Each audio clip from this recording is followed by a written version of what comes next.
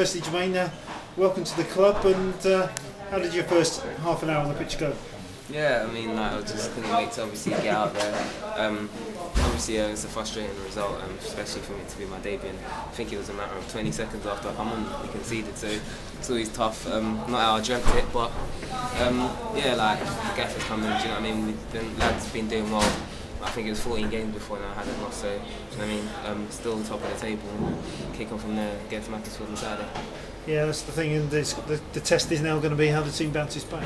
Yeah, I mean, like there's the the change has um, been bouncing around for a, a, while now. They've been doing well. There's good togetherness in there. So yeah, it's uh, testing times, but um, sure um, they've been in this position before where they've lost and bounced back and gotten another run.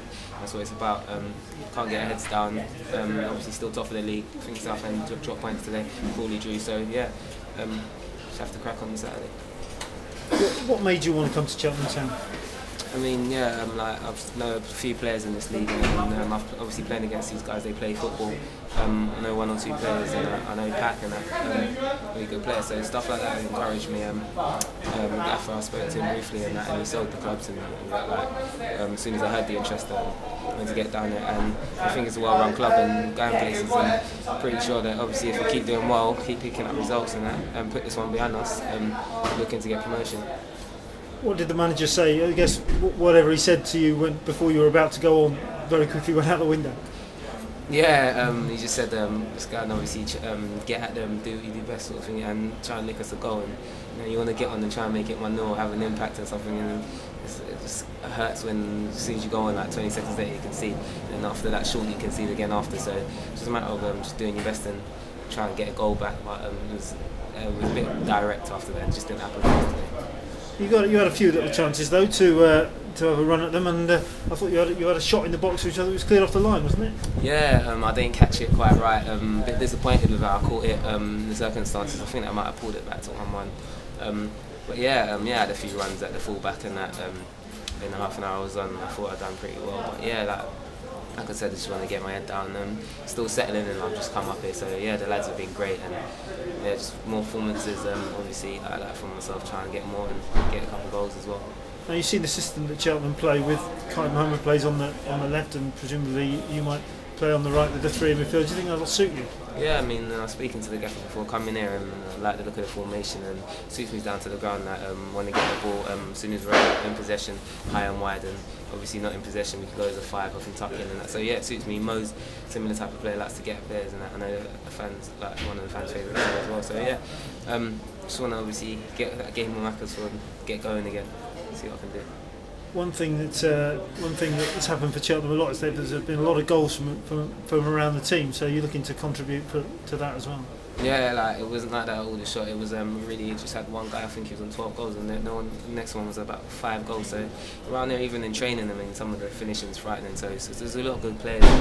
Um, can score goals from all over the place, and that's nice. So yeah, I just want to come and add to that and help them get a push what's the feeling in, in, the dressing room after after today's game? Is it just take this one on the chin, move on to next week, or is there you know, is there a little bit of soul searching going on in there? Yeah, well, they're a bit down. Obviously, um, it's been it's, it's like a first loss in a bit, and it's the, I think it's the manner in which we lost as well. I don't think um, we're really at it. Um, we're buzzing around today. It's always a hard one. I think uh, Bristol got a new gaffer, so they we knew they were going to be that extra, give that extra ten percent.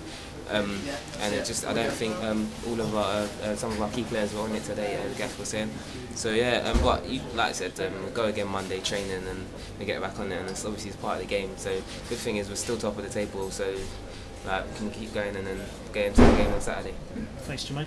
All right. Jermaine, you had, you had a good game here last week uh, for Oxford. Did you have any idea at that point that Cheltenham were interested? No idea whatsoever. Um, I just obviously wanted to play well. Like gave um, um, focus to try and get um, a result, obviously for the shots, and we're desperate for a result. And then obviously um, spoke to the gaffer. I think it was the day after that he got permission to speak to me. And as soon as I heard it, I was um, interested. Like I said, it's a well-run club, and you know I mean the way they play and that. So considering where they were in the league. It's nice to go from where Aldershot were to Cheltenham. Yeah. yeah, I'm happy to be here. Yeah, tell me a bit about your background. You've got a few non-league clubs, haven't you? And uh, where, where, did you actually start out?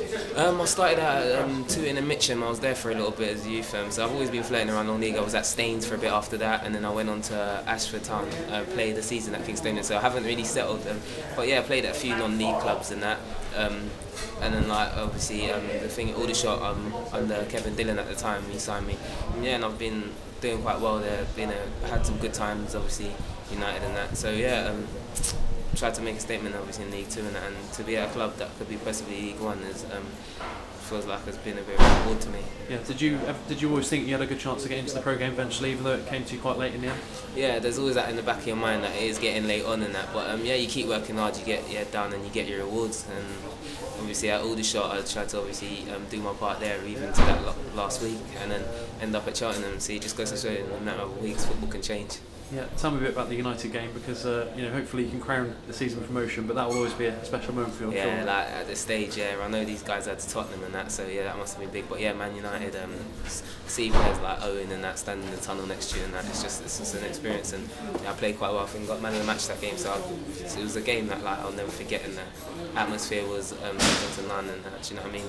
We lost, but um, it's a memory that I'll never forget, and it just hopefully more to come in the, in the competition next season. Yeah. Who was marking you in that game for United? Um, it was Fabio. Fabio, I made sure I got his shirt and that. I tried to get him he didn't want to know. But yeah, um, yeah, like I said, like I'm just, I do, I don't, I'm an Arsenal fan, so I was eventually, I don't really like United. But yeah, playing against them, you can see why some of them are at where they are. Like some of the movement and the football is frightening. But yeah, um, hopefully that's in the past now. It's just a memory and hopefully some more history and memories to be coming in. Yeah, you're a London lad, aren't you? Born and, and bred. Do you know much about this? I know you've been here obviously for football. Do you know much about this area of the country? Yeah, away from um, to be honest, I don't know. Like, um, I don't know anything about. It. I've always, um, a few people said I struggle at it because I've only ever been London, but um, yeah, it's a part of growing up, and I'm looking forward to the experience. And the lads have been brilliant.